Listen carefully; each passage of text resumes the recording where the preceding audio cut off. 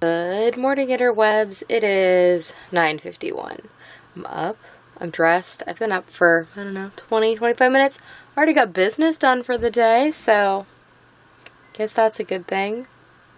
Today is going to be a very action-packed day, I assume. There's a lot of things to do. Steve starts his days off today. He is actually already outside. I heard the mower going. Um, I know he needs to mow the place where my mom is being scattered and do some work out there. And then, um, mow around the house and stuff too. Because we have people coming and they will probably want to venture outside at some point. So, you know, it'd be good if we like kept the grasshopper population slightly further away from our guests and the ticks. Um, I have bags to make today, and then I think Steve and I are gonna just generally attack some more cleaning and organization of our house because we have to make the bedrooms upstairs hospitable so that people can stay in them. And we've been you know, moving things just to like keep them out of the way Well, we did remodeling stuff. And we haven't moved everything back yet. we made progress the other day, but more progress needs to happen. For those of you trying to keep track of what day it is, because hello, that's me. Um, today is Tuesday. See, I had to think about it a little. Today is actually Tuesday the 31st, which means it is the last day to get your spot in my Seeds of Kindness Mystery Project Bag Club, which means by the time you see this, it will be over and done. Um, if that's a problem for you, message me. There might still be um, some space that I can squeeze you into, but that's just, yeah. Okay, I'm going to go and heat up some coffee, as all days should begin with coffee. Most of my days lately have not been beginning with coffee because, well, you know, then they don't become good days. Um, and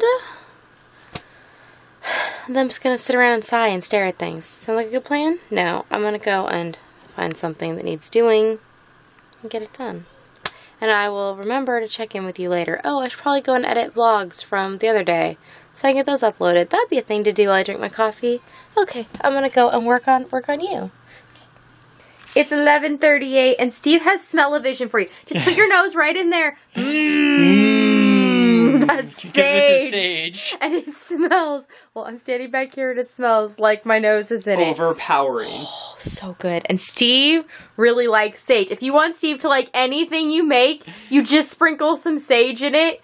Because every time I make something, I'll make it all time without sage. And then I'll put a little sage in it. He goes, Wow, this tastes so good tonight. What did you do? Or thyme. Sage. No, it's it's the sage is the kicker. Well, but thyme, But thyme works, works, well, too. Yes, but sage is. Oh, so now those are gonna go in our super Excalibur Excalibur dehydrator. I Because found the scissors, by the way. They were Oh. next to where I harvested the oregano. oh, so Steve lost his. Oh, now my nose is itchy from sticking it in this sage. Excuse me.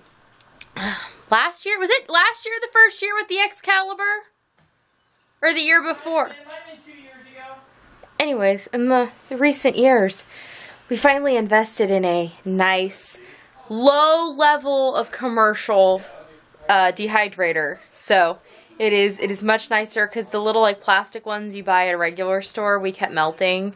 So we put in several hundred dollars to buy a nice Excalibur. I think it has like six or eight trays, and it is amazing. So if you are somebody who likes to preserve your own food it really is worth the uh, the investment in the uh, the nicer dehydrator. It goes so much faster too, so I feel like I use less electricity for it, and the food seems to dehydrate more evenly. So, just putting that out there for those of you who do grow and preserve your own food. Okay, I'm gonna go back to what I was doing. Oh, I was, I was uploading the vlog. That's what I was doing. I've been doing lots of things today, lots of lots of spinning in circles, but gonna upload the vlog and then get on to some sewing.